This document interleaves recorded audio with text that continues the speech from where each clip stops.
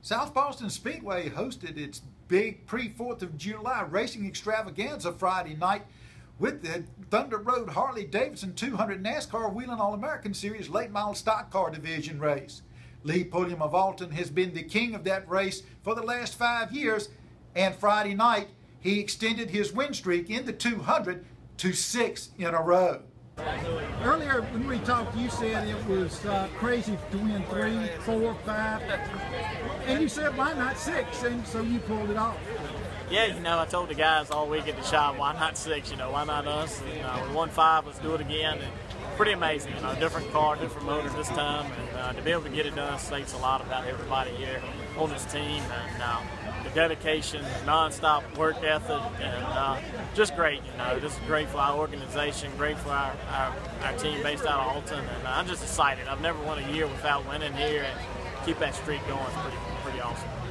Lee, you started on the after the invert. You were pretty far back in the field, and you had your work cut out for you to get back to the front. I did. I couldn't believe I inverted that many cars. I mean, um, I got shuffled around. I got on the outside, and I got beat to like 10th or 11th. I'm not sure what it was. It was way back there.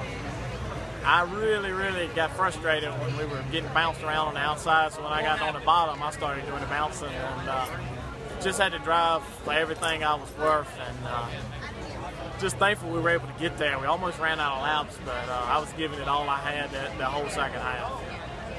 When did you feel like you had the real opportunity to take this thing?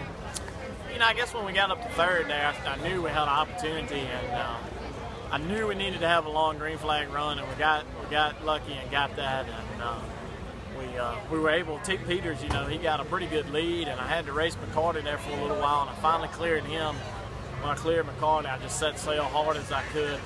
Didn't know if I was going to be able to catch him or not, but slowly but surely I was reeling him in, and I was able to get him right there at the end. For Lee Pulliam, Friday night's win marked a continuation of a string of seasons in which he has won at least one race per season here at South Boston Speedway.